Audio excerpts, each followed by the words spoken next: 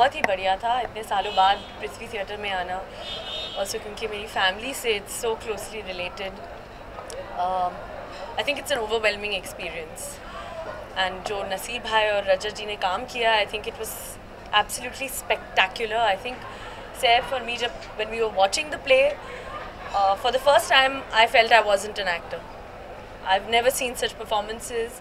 And हम लोग सोचते कि बड़े पर्दे पर हम लोग दस दस टेक देते हैं यहाँ रीटेक नहीं होता है और इतना बढ़िया काम I mean, it makes us truly feel small, but I'm really proud to belong to a family that is so creative.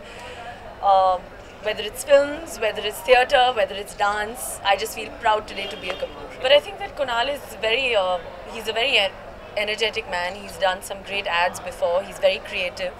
Uh, earlier, Sanjana was looking after it, which was also very special. All the kids, Shashi Uncle's kids, have been, they've also been slightly different because they're not really filmy and, you know, into the entire film bit.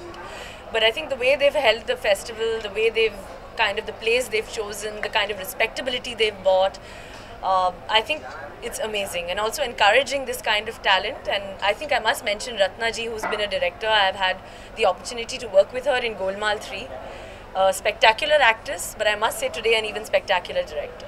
नहीं बहुत अच्छा लगा नसीर साहब तो बहुत अच्छे actor हैं कमाल के एक्टर मैंने पहली बार उन्हें स्टेज पे देखा मौका मिला और बहुत अच्छा लगा और दूसरे जो एक्टर थे वो भी बहुत बहुत बहुत अच्छा काम किया it was an amazing experience and I was just happy to actually be here I remember Shashi uncle Shashi Kapoor sahab um, being so proud of uh, Prithvi Theatre uh, with Shakespeare Walas and it's um, it's a uh, strong family responsibility and tradition uh, that the Kapoors have kept up alongside their work in cinema. It's also been this beautiful theatre. I don't know if a lot of people have seen it inside. It's it's one of the most intimate and, and beautiful places, um, and it was a it was a great and very special experience. It was nice to be there.